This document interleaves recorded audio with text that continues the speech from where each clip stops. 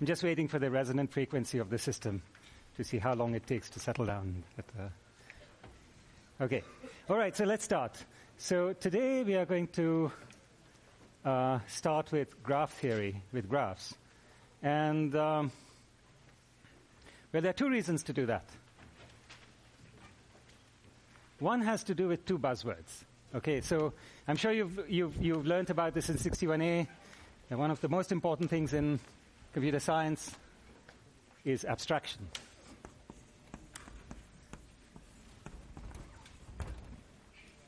Okay. Um, how many of you he- have heard about this buzzword, big data? Yeah, some people have heard about it. Yeah. Uh, does any, anyone know what it means?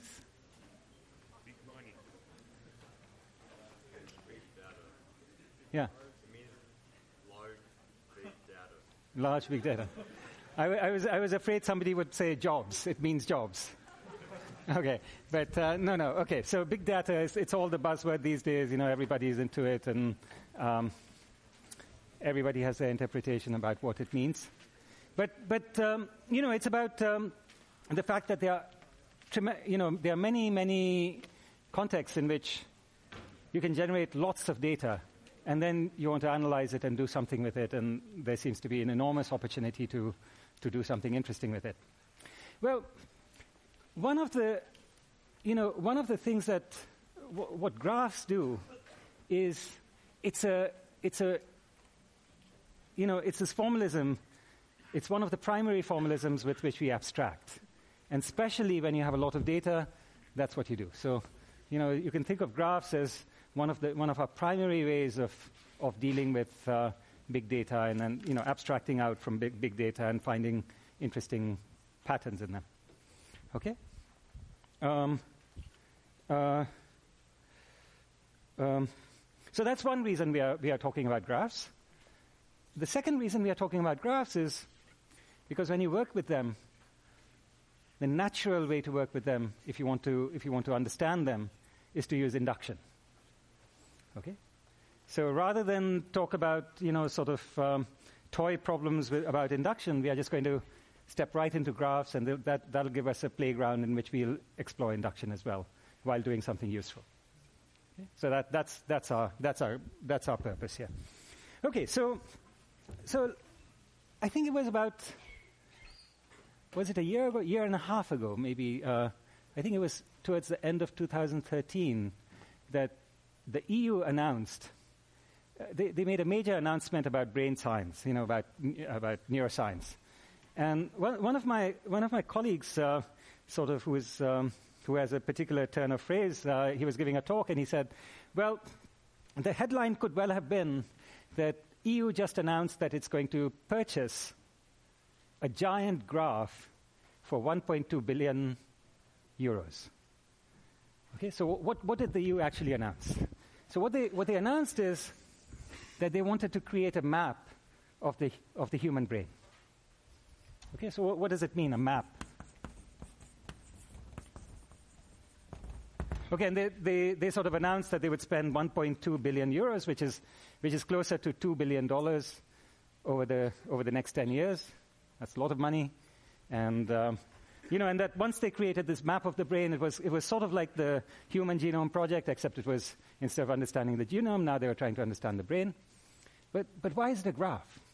Okay, so, well, you know what, what, the, what the brain looks like? It it's cons- consists of neurons, which uh, e- each neuron sort of has, a, has an axon, and then there are, there are these uh, dendrites, you know, which you can think of as wires, which, which go out from that. And, and then, uh, you know, you might have other neurons, and, and there are connections, which are called synapses. You know, that's where, the, that's where the connections in these circuits happen.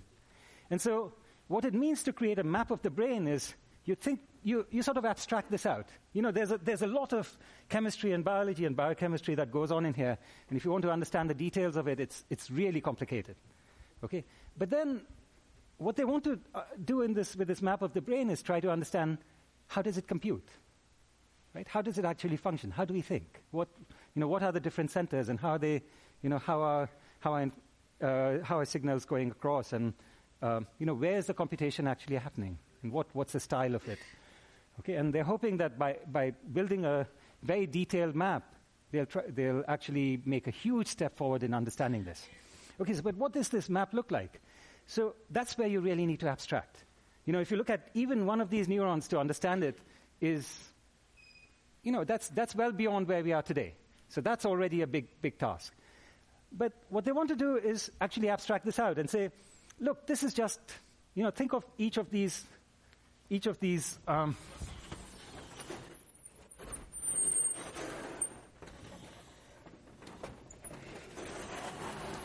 what we're going to do is represent each of these neurons by a little circle. Okay? So there's a little circle, that's a little circle. Maybe there's another neuron here, that's a little circle. And then this one has these dendrites that go out. So maybe it, it has one that goes here, so we'll just put, represent that, that, by a line. And uh, in fact, it's directional because the synapse is on that end, and you know, it's not symmetrical. So you put an arrow here. Okay, and similarly, you, you might have one that goes like this, so you put an arrow there. Right? And so now it's a big graph because there are something like 10 to the 10 of these little circles in it. And there are even more of these edges in it, you know, these lines. And what, what, what the map means is you actually chart it out and you, you, you represent all these 10 to the 10 little circles and, and you put down all these lines the way they exist and put the arrows down. And at the end of the day, you have this giant map which you've purchased for $1.2 trillion, and you hope that gives you insight into how the computation is happening. Okay? It's an abstraction, right? I mean, it, se- it seems like a complicated object, but the brain is much, much more complicated than that. And the hope is that this object will really explain something to us. Okay? That's one place where graphs come up. Here's another place where it comes up. There's, there's something called the web graph. Okay? What's the web graph? Well, it also has circles like this. Here, what the circles represent is web pages. Okay, so you have, you have one such circle for each web page. Okay, now you know it's a huge graph, right? There are lots and lots of web pages out there. Okay? So, who creates this graph? It's a web crawler, right? A crawling en- engine. It, it goes out every so often. I don't know if it's every day or every week. You know, Google sends out these. You know, so does each of the. You know, Yahoo sends them out, and they create their web. You know, their their map of the web, which is this. Okay, what is it? Well, what it is is what are these, what are these lines here? Well, they are pointers. Right? Every time you have a link pointing from this web page to that, put in, put in that link. That's a pointer. Right? You put in an, put in this line with a point, with an edge, with an arrow saying this one points to that. Well, maybe maybe this one also points to that. Right? Actually, maybe this one points back as well.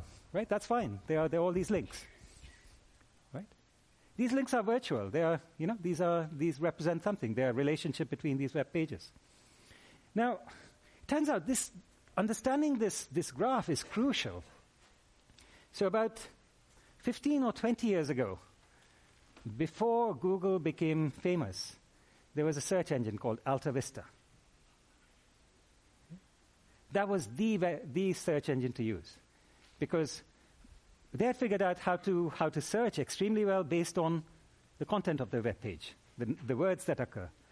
Right? Not understanding the words, but just the set of words that occur on the web page and analyzing them and based on that answering your queries and saying which is the most relevant, which are the most relevant web pages for your search.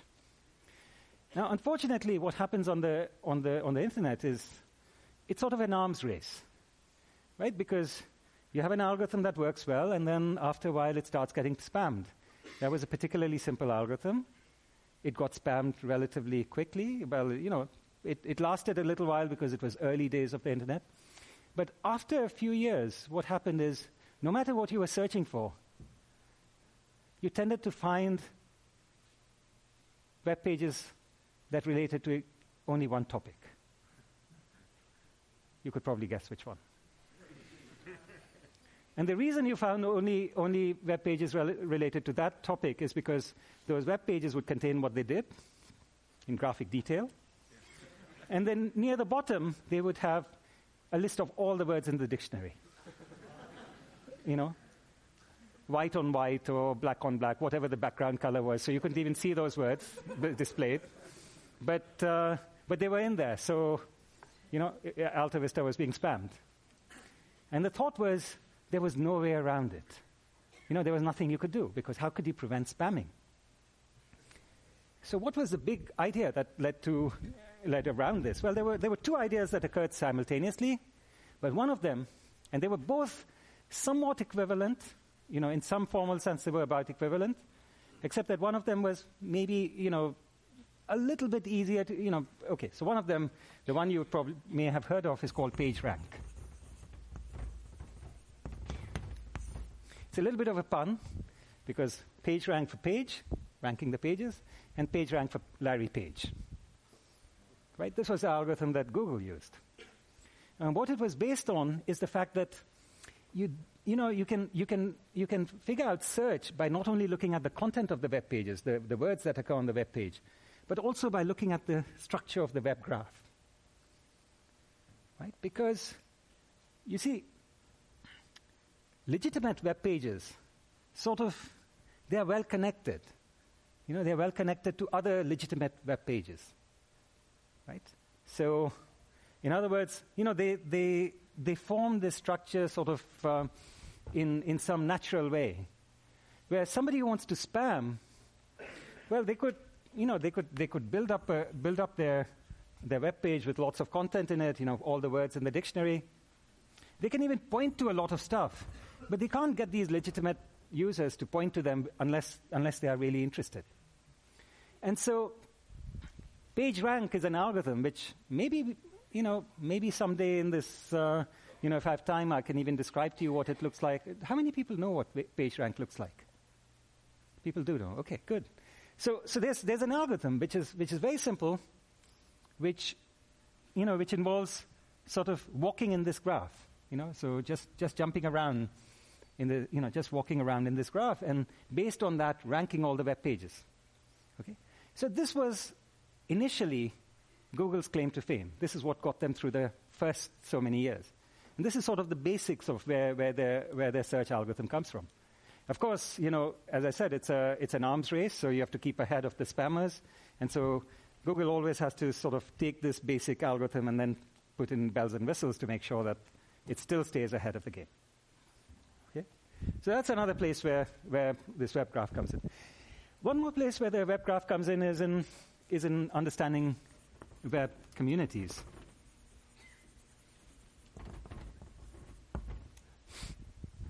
Okay, so once you have data like this about who's connected to whom, what it does is it takes information that you would normally, you know, that would normally be nebulous. Who, you know, it's, it's sort of the subject of um, you know, how well you know society and how well you uh, are following the gossip and so on, who's, who's related to whom and in what way. But now it's all right there. You know, it's, it's, it's laid out on, on the table for you to, to dissect in a way that wasn't possible before.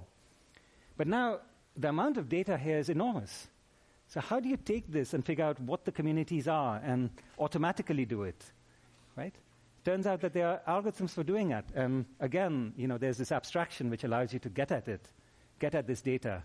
And this is the sort of big data that people want to get at. You know, you have, you have all this data, you want, to, you want to get interesting data out of it. You know, you want to identify communities, often for sort of crass reasons like you want to advertise to them or you want to sell them something.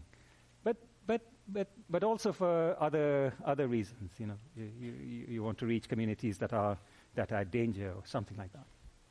Okay. So these are examples, some of the examples of graphs. Um, here's, here's another example of a graph. So you're, you're creating you're creating a timetable. You're, you're trying to schedule classes, okay? And um, well, you're, you're, you're trying to schedule classes in such a way, you know, you have only so many classrooms. You want to make sure that you know, you minimize the number of conflicts between classes. Okay? So, so you, you want to create a timetable, you have, you have conflicts between certain events because people can't take them simultaneously, you know, because, um, you know, they are supposed to be taken by the same people. So, um, So, well, you, you, you think of those courses as, again, your, your little circles, and you have a line between two of them if they cannot be, you know, if, if somebody needs to take both of these classes, well, you had better not schedule them at the same time. Okay? So maybe, maybe you have, you have, um, you have something like that, if, um, you have something like that. That's, that's your graph. And now, what are you trying to do? Well, you're trying to assign, you know, assign a time slot for each one. So you could think of it as assigning a color to each one, right? But, but you can't assign these to the same time slot, right? So you're, you're assigning colors, uh, red, blue, black, etc. So you want to assign red to this, but you can't assign red to that because there's a conflict between them. So you assign blue to this one. You can't assign the same color here, so yellow. But now you can reuse blue, maybe you can reuse yellow, etc. So you want to, you have, you have the minimum number of time slots within which you want to schedule all of these, and that's how you create a. So, so it's a coloring problem on this, on this graph, right? So again, you know, what the graph represents is abstract relationships between these objects, and then, then you try to express the problem that you're trying to solve. There's another way you can use graphs, which is you design graphs for a certain purpose. So, for example, you're trying to implement a, a parallel uh, machine, you know, with many, many processors. okay? And, okay, so maybe, you know, once upon a time there were people who were trying to build a, who, who there, there was a company called Thinking Machines, which, which built a computer with 64,000 processors. Okay? So you have these 64,000 processors which are working in parallel and they, you know, they're, they're cooperatively trying to solve a problem and they need to pass messages back and forth, you know, to, to sort of coordinate with each other. But now, of course, you cannot connect every, every, every one of these processors to every other one, because then you will just, you will just strangle the entire computer with wires. It's just not possible to fit in so many wires. So what you want to do is you want to design a network where, again, these circles are the processors, and you want to arrange them in some way and then these lines are wires between them. These are the direct hops. These are the processors that talk directly to each other. Okay, so you might have some connection pattern like this, you know, hopefully cleverer than this. Okay, but, but you have some connection pattern. And now, if this processor wants to talk to that one, it's going to sort of say, Excuse me, could you pass this message on further? And this one passes it on further, and so on and so on until it gets there. Okay? Meanwhile, maybe, maybe this processor wants to talk to that one. Well, so, um, so it's going to say the same thing. Well, it's going to say, well, excuse me, do you mind passing this on? And it does. Okay, but then in the process, what happens is you have wires which get congested. And so, you know, this message has got to wait for that one to go through, or vice versa. And of course, what you want to do is design the network in such a way that you don't have messages waiting around. Because if you do, then there's no point having these parallel processors because you get swamped with the waiting time for all the messages. So there's a design problem here. What kind of network should you use? So, what are the properties of a graph which ensures that you can pass these messages along quickly, no matter what the message pattern is? Okay? So, in the next lecture, we'll see how, how to actually solve this problem. And there's a, there's a beautiful solution to this which is actually the one that the connection machine used. Okay, okay so that's, that's, what, that's what graphs are useful for. That's, that's why we are studying them. Um, questions? So the problem we want to solve here is, you know, we have a large number of these, these processors, circles, and we want to connect them up using not too many of these wires in such a way that no matter what, what, um, what pattern of communication we want between the processors, we don't have congestion. You know, we don't have some bottleneck edges where lots and lots of messages have to pass through those edges. So, you know, everything gets piled up and there's a big uh, traffic jam there. Because then there's no point, you know, then, then uh, your, your, your machine is just, just going to sit there idling. Okay? So how do you, make, how do you design this, this network so that you use very few edges, but you can guarantee that there are not going to be many bottlenecks, any bottlenecks?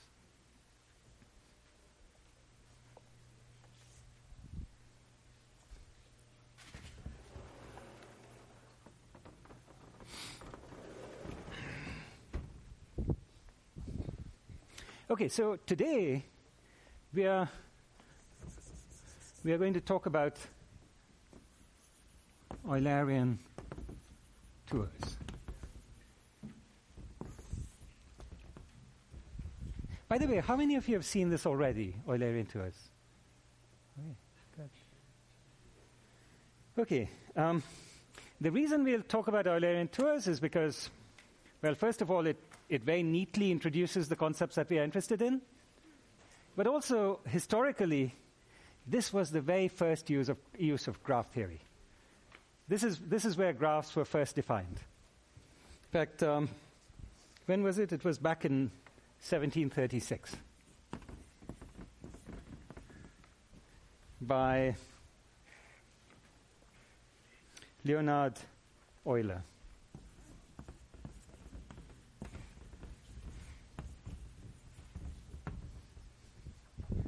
So, about 250 years ago. Okay. So, the story goes back to the city of Königsberg. So, let me make sure I spell it correctly.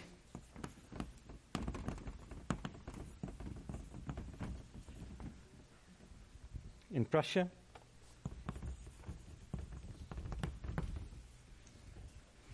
Okay, and it was, it started with sort of, sort of an amusing, you know, something that uh, the natives of this little town used to do to amuse themselves in the evening. It, you know, it was sort of a quaint little town. There was very little else to do. It was, it was quaint. It was nice to walk through. So that's what the residents did. They'd, they'd walk through it.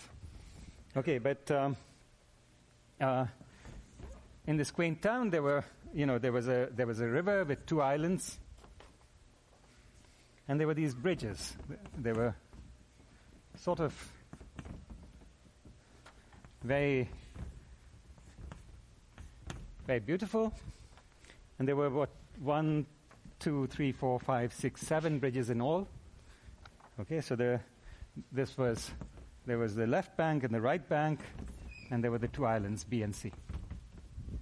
Okay, so that was the that was the structure of this this this entire town. The town was on both sides, and what the residents used to do is walk around this, you know, and then over time there was there was this this uh, you know there was this little game that they played where what they were trying to do was actually go on the walk and and cross every bridge during the walk, but they wanted to do it as efficiently as possible, so they wanted to cross every bridge exactly once. And of course, they wanted to get back to where they started from because you know, that's what you do. You want to go back home. So so, well, that was that was the little puzzle, and uh, you know, people were trying it for a while, and nobody, of course, nobody succeeded, and um, they were curious. You know, how come nobody? You know, it was sort of a challenge, and so Euler happened to come across this, and and he realized that what he needed to do was abstract out the situation. And once he, once he found the right abstraction, he could, he could see very clearly that it was impossible to do this. Okay? So, what was this correct a- abstraction? Well, the way he thought about it was look, you know, the fact that there are bridges and islands and, you know, left bank, right bank, you know, this really doesn't matter. That's sort of irrelevant to the situation.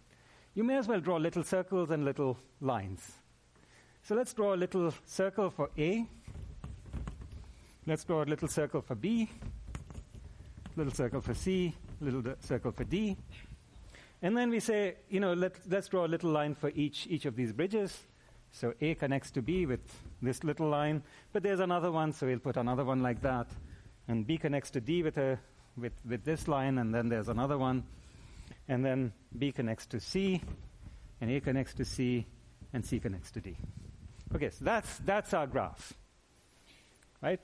So the town goes away, the islands go away, you're left just with these circles and lines.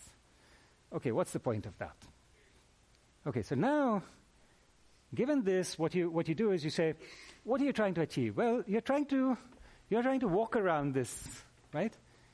And when you walk around this, you want to go, go over each of these lines exactly once. You want to start from somewhere, let's say anywhere like this. You want to go over e- each of these lines exactly once, and then you want to return to your starting point. Right? So imagine that you're tracing this. This is a curve. You, you want to trace it using a, using a pen or a chalk. And, and what you're interested in doing is uh, tracing it without lifting your, lifting your chalk. So you start from here, and you, you start tracing, and then you, well, maybe, maybe it's clever to go here, maybe it's clever to go there, maybe it's clever to go here. But now you're stuck, right? If you, if you go back up there, you get stuck. If you go down, well, you're stuck.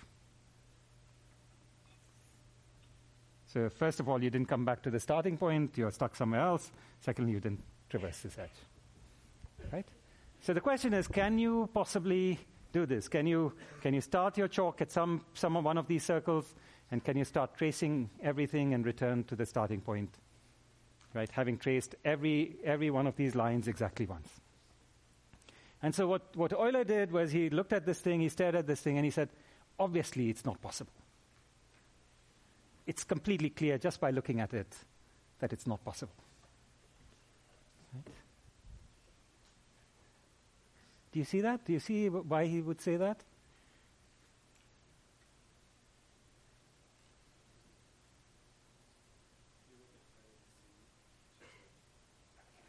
You look at island C.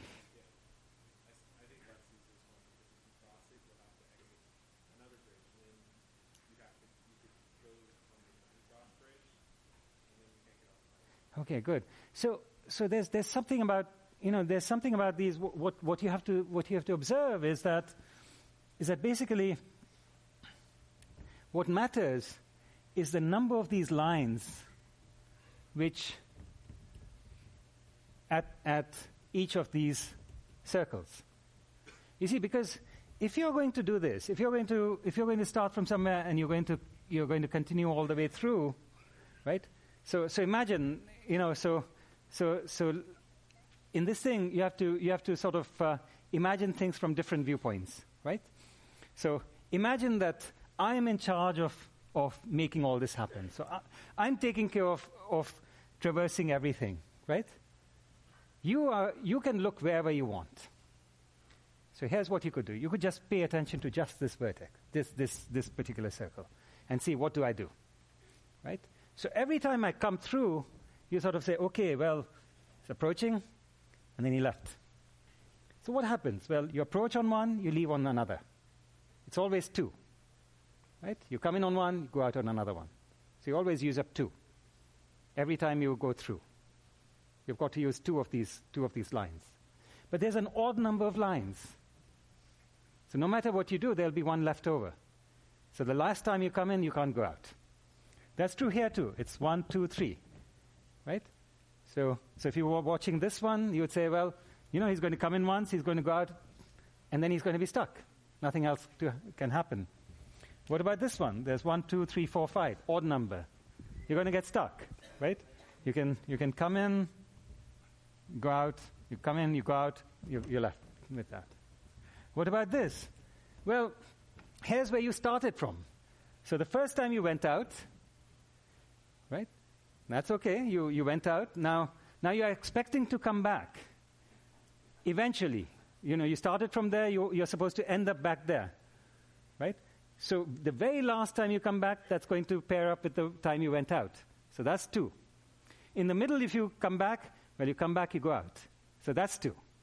Right? So what happened here? Well, you went out, then you, then you came back, you went out, right? but then, you're, then you never, never got to come back again right? Because it's an odd number. So that's what Euler was saying. Well, it's an odd, you know, it just consists of odd, num- odd numbers here. You need even numbers in order to make this happen. Therefore, it's impossible. Graph theory, right? Graph theory was born on that day. Okay? Okay, that's the origin of graph theory. Okay, actually, he proved not, not okay, he didn't only solve this puzzle, he actually gave a general condition under which you get, you can do Eulerian tours. So this if we were able to do this traversal of all the edges where we go through each edge exactly once, that would be called an Eulerian tour. And what he said is, here's a very simple condition that you can check easily, and you can actually do such a tour. There's a tour if and only if this condition, is, condition holds. And that's what we'll prove today. We'll see what this condition is, and we'll show that it's necessary and sufficient. Okay? All right, so so before we can do that, let's use this opportunity to formally define what a graph is.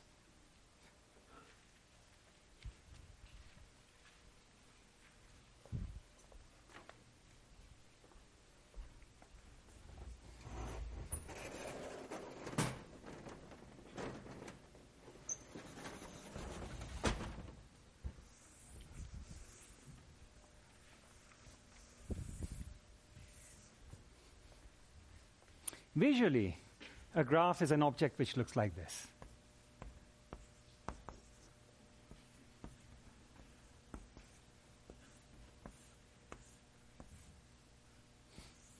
Something like that.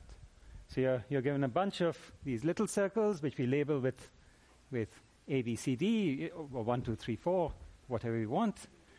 And then we are, we are given lines connecting some of them. Okay? So we have these objects A, B, C, D, and there's a relationship between them. Some, some pairs are related, others are not. So A and B are related, A and C are not. The relationship can be, can be, you know, can be things like there's a conflict between those two courses. It can be there's a, there's a, there's a wire between these two processors. It's what you want. You know, this is, a, this is an abstraction. This is a way of representing something. Yes?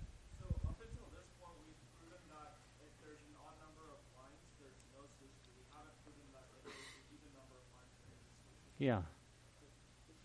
Yeah. We are, we are going to. And it'll, be, it'll, it'll take a bit of doing. Uh, so it'll really exercise our understanding of induction and recursion and so on, which is one of the reasons we are doing this. Okay? Okay. Okay, so, so visually, this is what a graph is.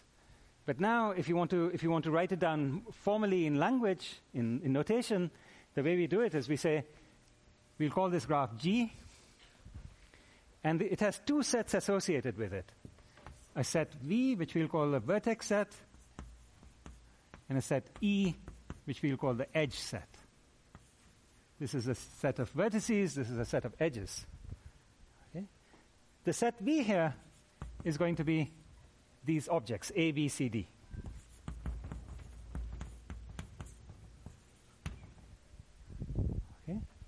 Those are these little circles. The set E consists of these lines. So the way, the way we write down this line in notation is we just say that's A comma B. The set AB. It says A is related to B. You put a line between them. Then we have a line between A and D. We have a line between B and C. We have a line between B and D. And we have a line between C and D. So that's our graph. Okay? Is it clear? It's just notation, right?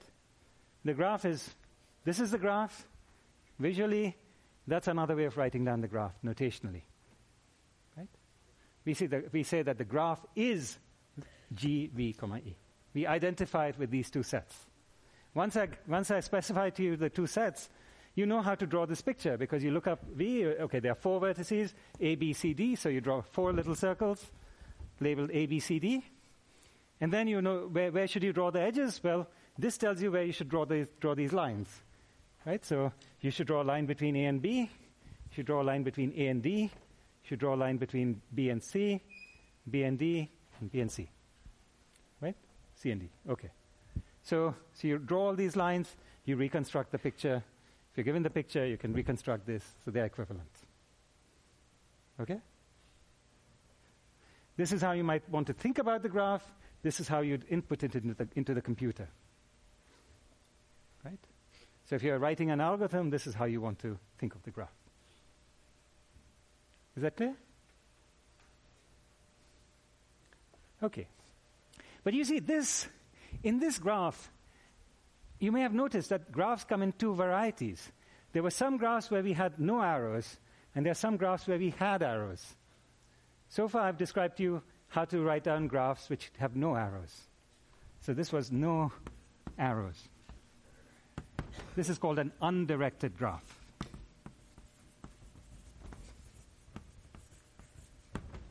Okay? By the way, actually, I, I also described to you another object which is different from this, which is that one.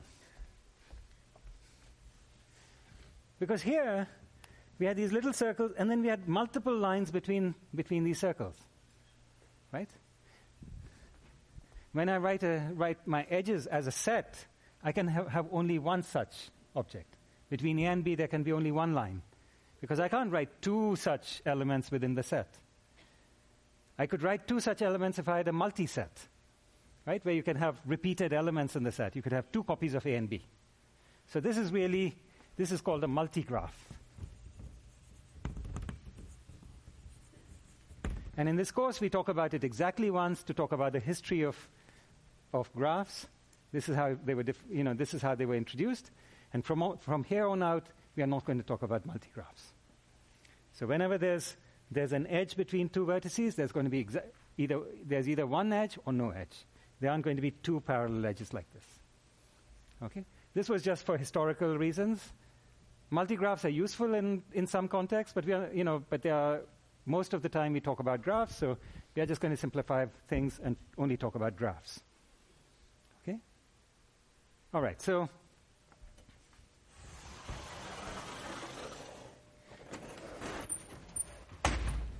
now the, the more general situation is one where you you have arrows on the on the lines. Okay, those are called directed edges, and so it's called directed graphs. Formally,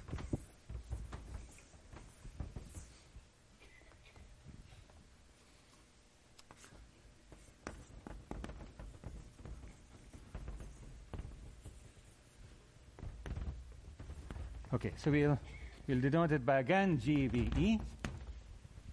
Okay, but now, now the you know now we can say it a little bit more cleanly, mathematically. We can say, well, V is a finite set, so we might be, again, okay. So let's do an example. So we have A, B, C, D.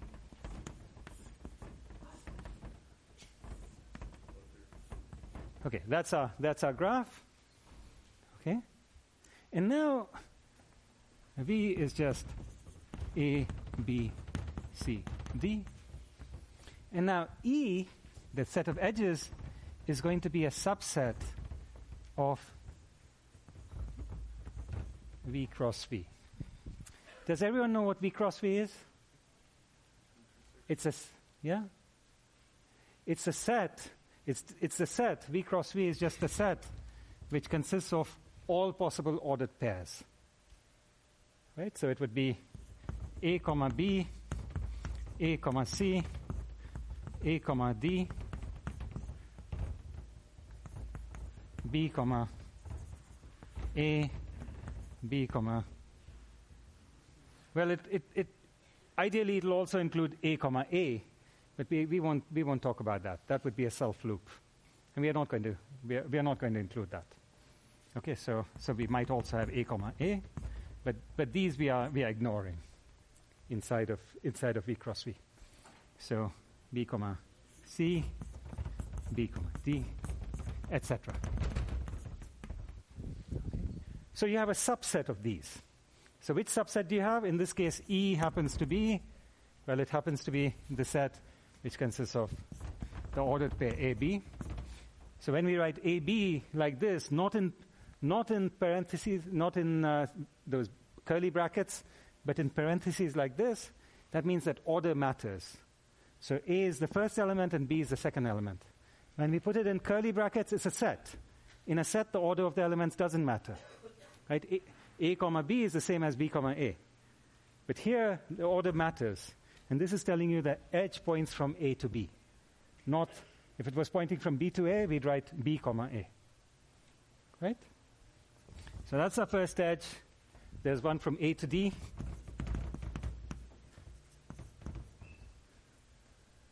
There's one from B to C. There's one from B to D. And then there's one from D to A. It's okay to have edges pointing in both directions, A to D and D to A. Okay? And now we can say that the undirected graphs, undirected graphs are a special case of directed graphs. They are those directed graphs where every time you have an edge from A to B, there's also an edge back from B to A. So you can think of a directed graph as a, as a road network where you have one way roads. Okay, this happens to be a one way road, or it could be a flight. You, you, have a, you have a flight from A to B. It doesn't mean that there's a flight back from B to A. Right? You often have these situations where you can go from city A to city B by a flight, but there's no flight back. You have to go, sort of go around in a circle through a, through a different city. Okay, so these, these might be flight paths. Well, hopefully not, because then you'd have a lot of planes stuck at sea, but you get the picture. Right? And so, so the undirected graph is a special case of a directed graph where every time you have a, an edge from A to B, you also have an edge back from B to A. And so then, if you have that, that condition, then we, then we write it in that, in that way. Okay? Yeah.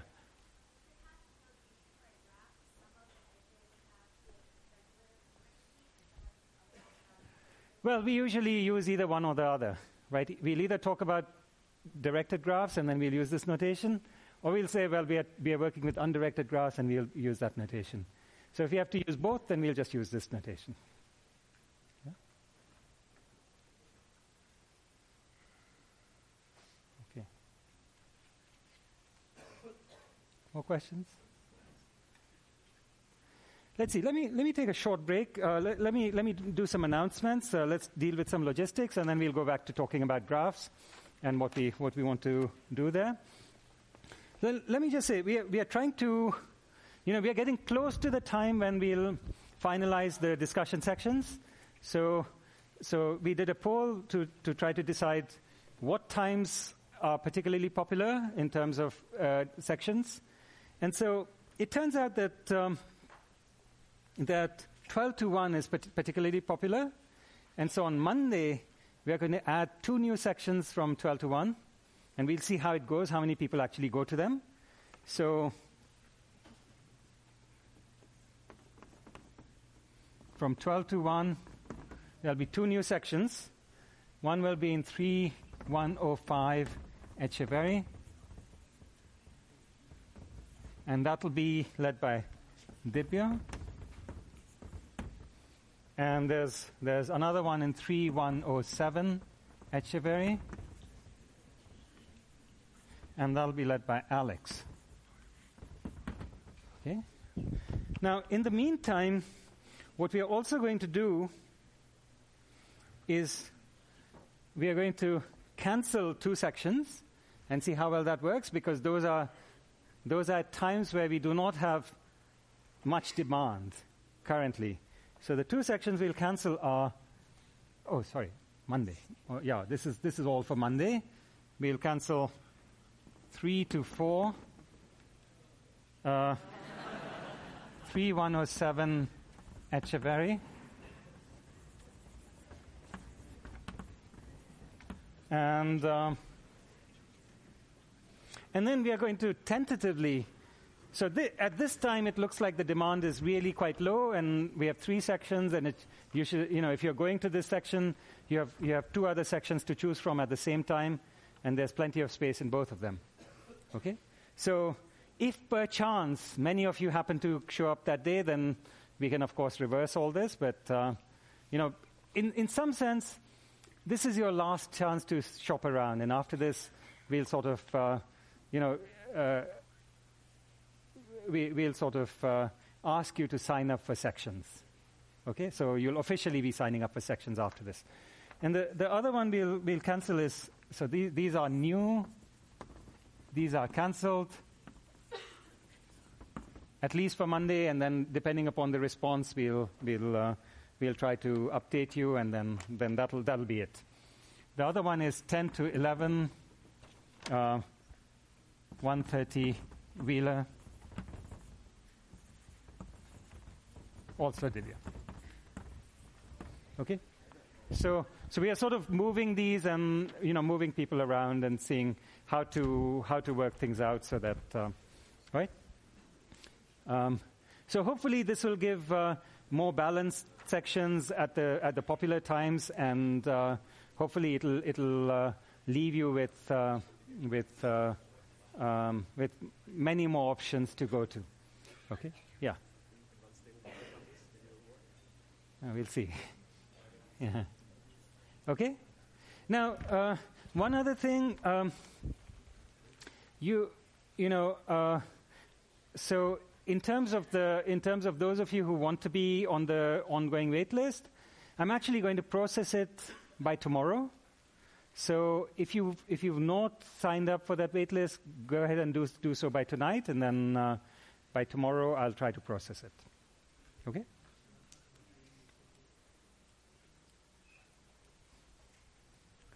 All right. Um,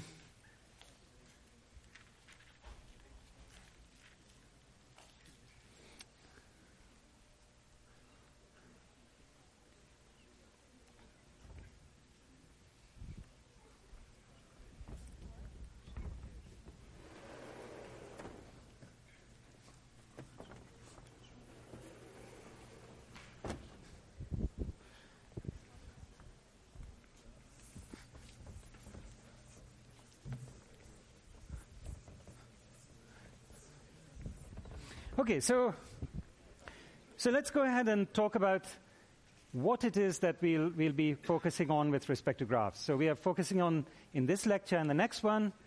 Um, sorry, can you settle down here? Okay, so so what we are focused on in this in this lecture and the next is one issue, which is connectivity.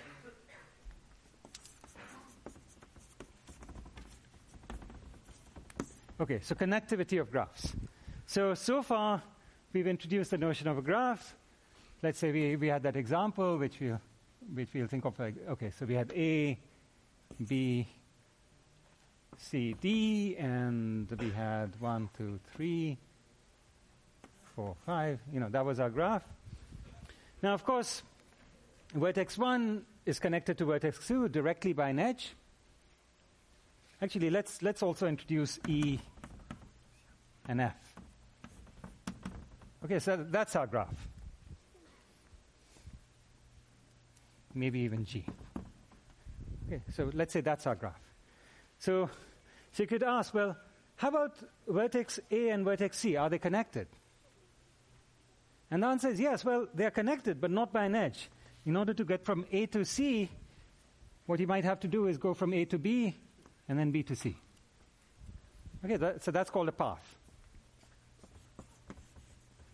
path from U to V is a is a sequence where you go from you go from U to W1, W1 to W2, dot dot dot, WK minus 1 to WK, WK to V. So it's a, it's a sequence of edges which leads you from one to the other. We'll say it's simple. Usually, when, when, we, when we say path, we mean it's simple, meaning we don't repeat any vertices along the way. Right? We just so, sort of go directly. We don't, we, don't, we don't keep looping back on ourselves. If this path is closed, you know, for example, you, you, you, you, you can say, well, maybe somehow what we end up doing is we, we go from B to C to D and back to B. Okay, you go B to C to D back to B. So it's, it's sort of a, a path that closes in on, on itself. This is called a cycle. Again, simple. So paths and cycles are how you traverse a, a path, uh, a graph if you're a reasonable, normal, busy person. But if you, are, if you happen to be living in Königsberg, which is a beautiful town, and you happen to be, you know, doing a leisurely stroll, and it's beautiful outside, and it's spring, and it's, it's uh, nice weather, then you don't care to do the most, most obvious, uh, you know, efficient thing. You really want to maximize the number of streets you walk through. And so then, instead of, instead of taking a path, what you would take is a walk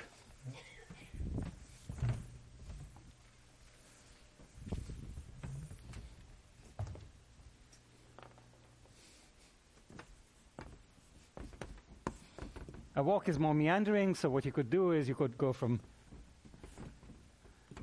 you know, you might go from A to B to C. I mean, it's up to you, right? You, you know, it's, it's how you feel, so you might, you might start from A and then you go to, uh, go to C and then, then, then you go along here and, and then you go there and then maybe you want to go back along this edge and then you go down here and so on. It's, it's up to you. You know, you just wander around as you want. That's a walk. Right? You can, you can repeat edges and vertices as you want. And of course, uh, if at the end of this you return to your starting point, then you call it a tour. A tour is a walk that returns to starting point.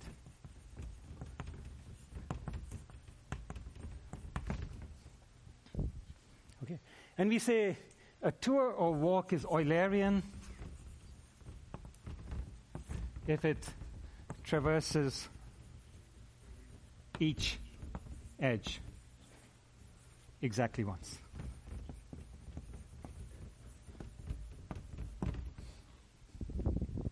Okay, so you're not, never allowed to repeat edges. You're never allowed to re- let, a, let an edge go untraversed. You have to take, take each one exactly once. So that's, a, that's, that's an Eulerian tour if you return to your starting point. If you don't return to your starting point, but if you take each edge exactly once, it's an Eulerian walk. Okay? Now, one last thing about connectivity. If you have an undirected graph, it's either connected or you can decompose it into connected components. So in this case, that's one connected component, that's another connected component, and that's another connected component. And what we mean by that is, if these are the vertices in a connected component, you can go from any one to any other by a path. Here you can go from this to this by a path. Here you can go from this to itself by a path, by an empty path. Right? So you can always decompose an undirected graph into connected components. Uh, what about directed graphs? The story is more complicated, and you'll see what you can do with them in 170.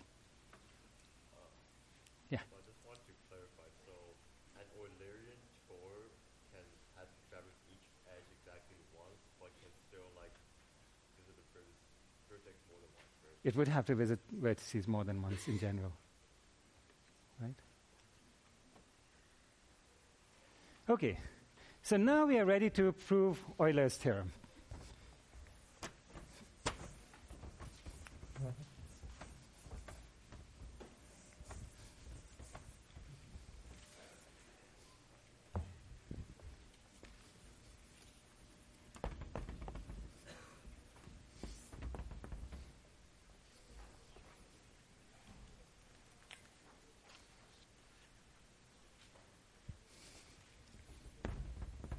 An undirected graph.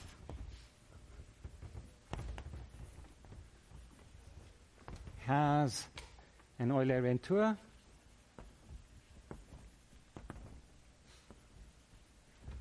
If and only if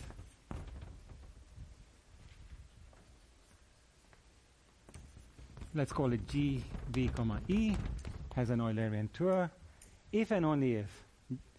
Okay? So, by the way, you know, when I talk about a graph GVE, sometimes I'll just informally call it G because G is the graph. If I don't want to talk about, you know, so if and only if G satisfies two conditions. So, has even degree and is connected up to isolated vertices. Okay, so let me, let me define these undefined terms so far. G has even degree. So the degree of a vertex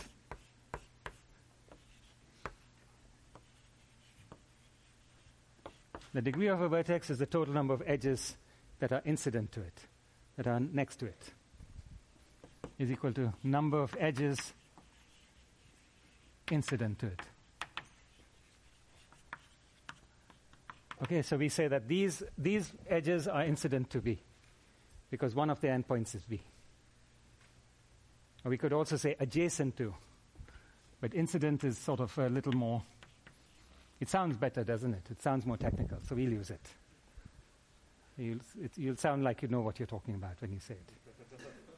Okay? So the degree of this de- degree of V is, is equal to 4. Yeah. Okay. We'll say that G is, has even degree if every vertex in G has even degree. G has even degree means every vertex V has even degree.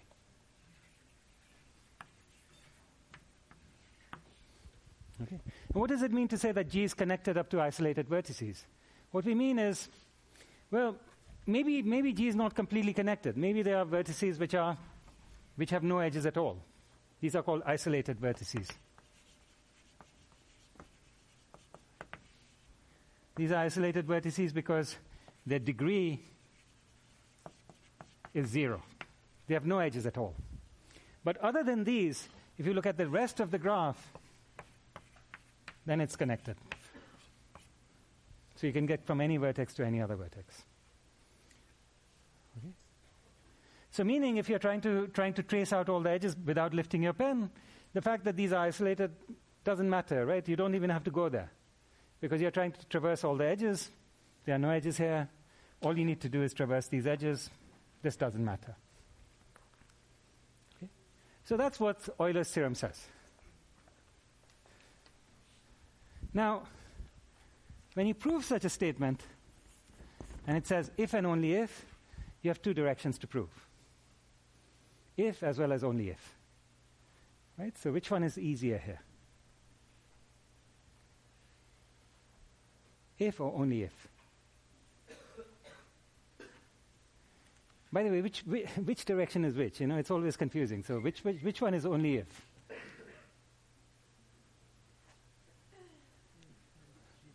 Which way? Okay, so meaning this way, what, what does it mean? So you start with the assumption that what, and you're trying to prove what?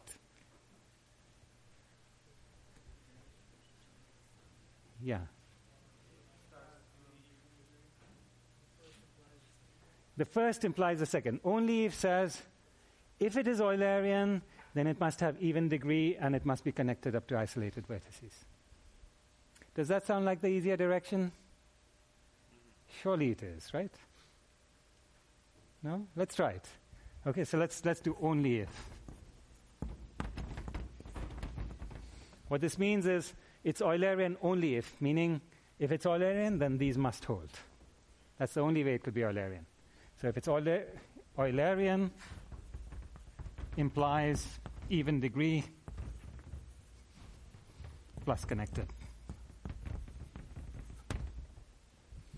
Do you feel you can prove that? What does Eulerian mean? Eulerian means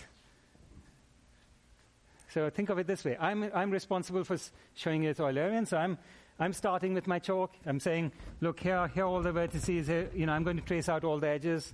And what I'm going to do is I'm going to go through and trace and trace and, you know, and trace and trace until I'm, I'm through all the edges and I'm back.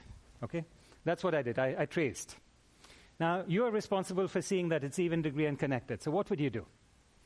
Well, what you'll do is you're responsible, let's say, for one of these vertices, and you're going to say, I'm going to, I'm going to, you know, you, you do your thing, you, you go ahead and you trace out, and I'm going to show you that it's, it's even degree. Because I'll show you that this vertex is even degree, and then no matter which vertex you want, I'll show you it's even degree, but, but just pick any one and I'll show you it is, right? So what, what do we do? Well, I start tracing, and you keep your eye just fixed on this vertex. Just don't worry about e- anything else I do. So I'm, I'm tracing away, and you don't care. You know, I'm tracing, tracing, tracing.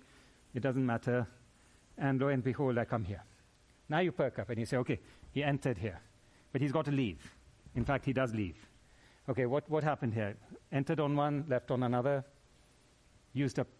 How much of the degree did I use up? Two. Okay? And then I come back in, well, got to leave again. How much of the degree did I use up? Two more. So I'm going in jumps of two. Right? At the end of the day, all these edges have got to be taken. So how many could there be? They are either two or four or six or eight. So it's an even degree. Right? What's the only exception? What's the only other case you need to check? The start vertex. Because, because there, as soon as I started, I used up one of the degrees. So I used up one. So you have to hold, you know, you have to hold on to that separately. And then every time I come back in, I've got to leave again. So, so you keep count. Every time it's two, and two more, and two more. So it's an odd number. Except eventually I've got to end up back here. I've got to return to the starting point. So I get one more there. So the first, the, the, the starting gets paired up with the ending, and then everything in the middle gets paired up every time I go through. So it's even degree. Right? So every vertex is even degree. What about connected? It's obviously connected, right? Because I went through all the edges exactly once. So, you know, I want to get from anywhere to anywhere else. Well, I just follow the tour and I get to anywhere I want. Except where can I not get to? Well, any vertices that are isolated. Right? Because I, I traversed all the edges. So when I traversed through this, I traversed all the edges. So what can be left? There could be other vertices left, but there can't be any other edges left. So th- these must be isolated vertices. So it's connected up to isolated vertices. We're done. Okay, so only if is done. Now, what we are left with is if. Okay, that's the harder direction. Right, that's really the, where, the, where Euler's theorem comes in. By the way, when Euler proves, proved this theorem, you know, he was a great man, but he forgot connected. You know, he forgot to add in connected because, you know, it's early days, you don't get everything right. Even if you're great, you know, you, you come up with great concepts, you're a great mathematician, but you, you don't always get everything right. So he didn't. He, he forgot to say connected. And in, in his proof, you see him squirming and sort of, you know, not quite saying it, but maybe he knew it, but he didn't say it. But, you know. Okay, so.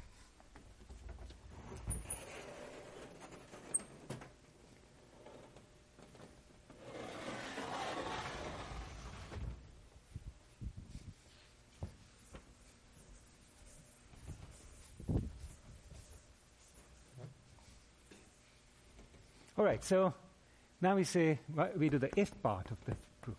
If meaning if it's if it has even degree and is connected, then it must be Eulerian. Then we can we can trace through everything.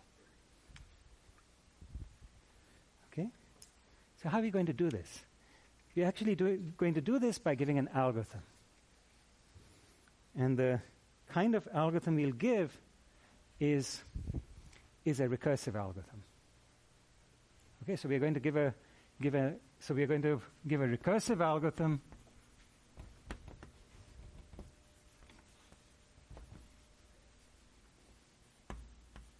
Euler, which takes as input a graph and a starting vertex, and it's going to output an Eulerian tour through this through this graph. Okay. Now, in order to in order to write this algorithm, we're going to first write a subroutine. And the subroutine is what you'd expect. Okay, it's, it's going to be called find tour, which takes as input a graph and a, an S. And it's, it's what you might imagine should be Euler. You know, naively, this is what you might, might be your first attempt at, at creating this, this algorithm Euler, the program Euler which actually outputs the Eulerian tour. So naively, what would you do? You'd say, well, look, let me start from S, and let me start walking.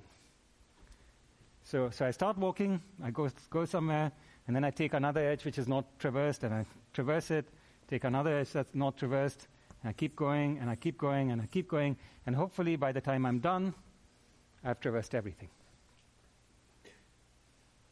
Okay, I'm, you know, by the time I'm stuck, so I, so I keep going until I, until I get stuck, and I hope that this is an Eulerian tour. So, how realistic is it to hope that this is an Eulerian tour? What could have happened? So, you started from S, you started taking edges, and you, you kept taking edges until you, could, you know, until you got stuck. And you got stuck because you ended up somewhere, I, anywhere, you ended up somewhere where you couldn't take another edge out. Where could you get stuck? Where's the only place you could get stuck? The starting point. Why is that?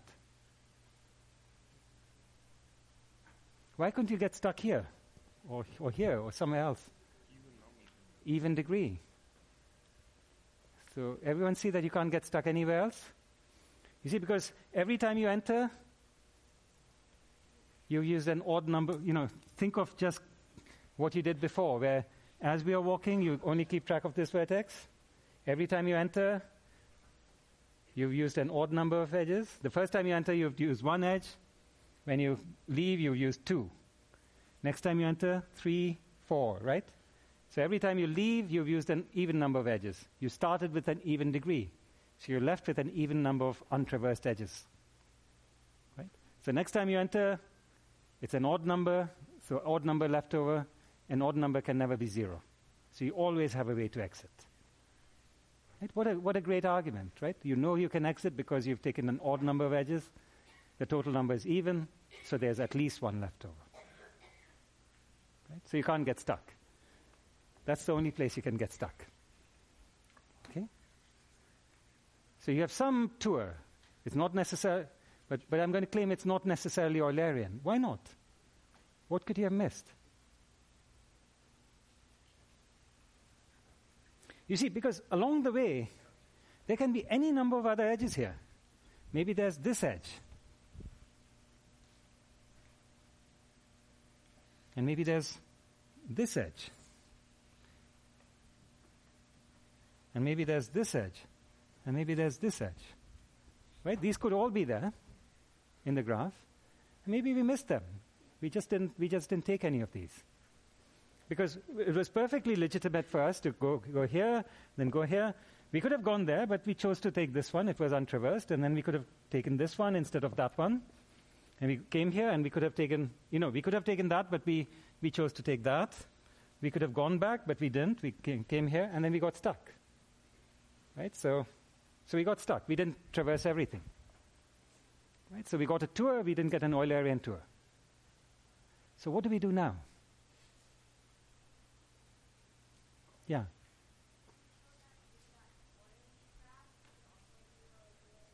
Eulerian tour? Okay, so, so how do we think about it? You know, now we want to sort of, are we, are we in a place where we can sort of wrap it all up and do one more thought and say, okay, our algorithm is done? Okay? So, so once you think, you know, once you have the right way to think about recursion, recursion is extremely, extremely powerful, right? And so if you think about this the right way, we are almost done now. Okay, we, we, we just need one more idea and then we are done. And we can write the program and it's going to be nice and short. Except maybe analyzing it will be a little bit of a issue. You know, recursive algorithms are like that, right? They are very short, very pithy, and they solve the problem and it's, it's like magic.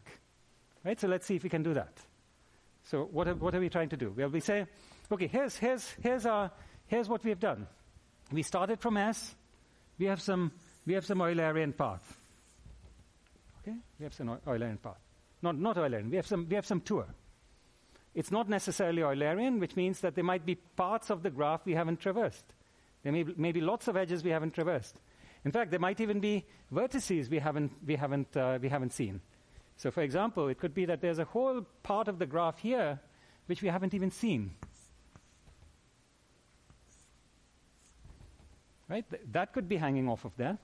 We just didn't even see it. We could have gone there, but we, we chose not to. I mean, this thing could be arbitrarily large. We just didn't see it. Right? Do you, do you see that? There could be other pieces hanging off of here, and we didn't see them. Okay, so, so what's our real picture? Well, we could, we could say, well, okay, this is part of the graph, but then there are other pieces that are hanging off of here. They might look like this. You know, there's, there's some piece that's hanging off of here, some piece here, some piece here, some piece here. Okay? And now what I can do is I can say, let me take the, you know, let me look at this entire graph. I'm going to take out all these white edges, the ones in the tour that I found, and I'm going to remove them. What happens? Well, my graph is going to fall apart into connected components. Remember? Connectivity. Right? Any graph has connected components. So we started with a connected graph, but now once we've removed these edges, it's going to fall apart into it's going to be some, some old graph. It's going to have some connected components. Maybe it has four connected components. What else can we say about it? What can we say about the degree of this graph? Even. It's even. Why is that? One in, one. I'm sorry? One in, one out. Yeah. Well, because, because you see, what we removed was a tour, meaning at every vertex it has even degree. It's a tour, meaning every time we entered a vertex, we left it. So it, at that vertex, we, we you know, if we entered it twice, we left it twice. So it has degree four. So we remove four edges, or we remove six edges, or eight, right? In any case, we always removed an even number of edges. We started with an even number, we removed an even number, we are left with an even number. Right? So this, this connected component, if you look at it by itself, what's left over is even degree, it's connected, it's Eulerian. What about this one? It's even degree, it's connected, it's Eulerian. Even degree, connected, Eulerian. Same thing here. Isn't this crying out for recursion? Right? This is the. How, how much more of an invitation do we need? Really? Okay, so you've got to get yourself in a mindset where this is all the invitation you need. In fact, less than this, but, you know, okay? So at this point, it's crying out for, for, for recursion, right? Because you, because you want to say, recursively solve this. Get an Eulerian tour here. Get one here, get one here, get one here. And then what do you do? Then you splice. Right? What, what does that mean? Well, okay, so, so you, you start from some vertex here. You know, there, there's some common vertex. You go ahead and find, find your Eulerian tour here. Find your Eulerian tour here. Find your Eulerian tour here. And find your Eulerian tour here. Okay? And now, having done this, what you do is go ahead and splice these tours together. What does that mean? You start from here, your original starting point. You start going along this tour.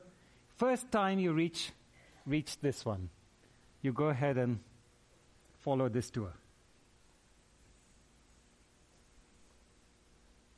Okay? Having picked up this tour, then you keep going along, along your original tour. First time you reach another one of these components, you now go ahead and pick up this tour. And now you keep going. First time you reach this, maybe not from here, from here, you go ahead and pick up this one.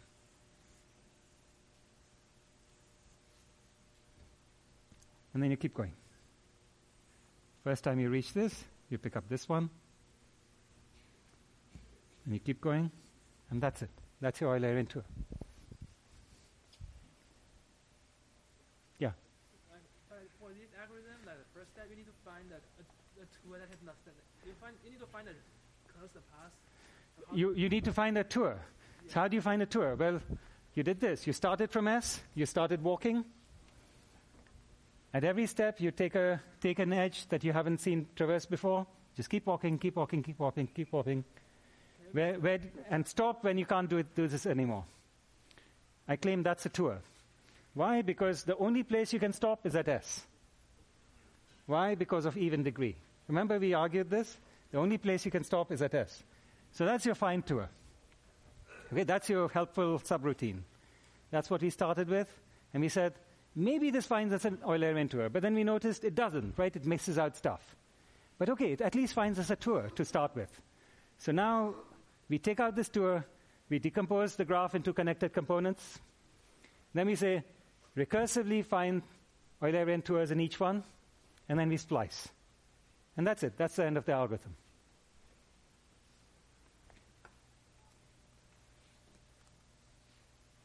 Okay? Yeah.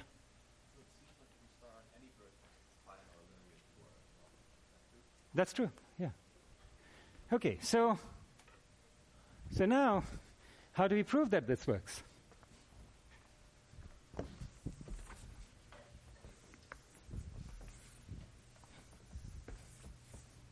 So proof by induction on the size of the graph. Where what's the size of the graph? It could be number of vertices, it could be number of edges. It's actually easier to think of it as number of edges. It- you can do it with either one. It, it works with either one, but let's do it with number of edges. Okay? So base case is trivial when the graph is empty. Okay, trivial.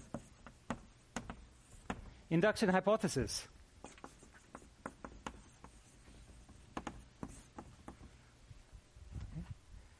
This algorithm works whenever you have an you know even degree connected graph with at most m edges. At most m edges, which means we are doing strong induction. Right? Because we are assuming it's true whenever you have at most m edges, not just for m, but less than or equal to m. And then induction step. So we start with a graph with m plus 1 edges. And it's even degree plus connected. And now what do we do? Well, we find tour. We find tour. Well, it finds us a tour with, of course, at least one edge. Okay? So we find some tour, and now the rest of the graph splits up into connected components. Each of these connected components is how big? How many edges could there be in them? Certainly no more than m. It's actually smaller than m, but it's certainly no more than m. By the induction hypothesis, when we do the recursive call, it finds us an Eulerian tour in there. Okay, so we find Eulerian tours in all of these by the induction hypothesis, and then we can the splicing works, and therefore we find a Eulerian tour in the whole thing. Right? So, so fine. So, so our, our proof says find tour works finds a tour with greater than or equal to one edge, certainly greater than or equal to two edges, but certainly greater than or equal to one edge. Therefore, connected components have less than or equal to m edges. Therefore, by the induction hypothesis,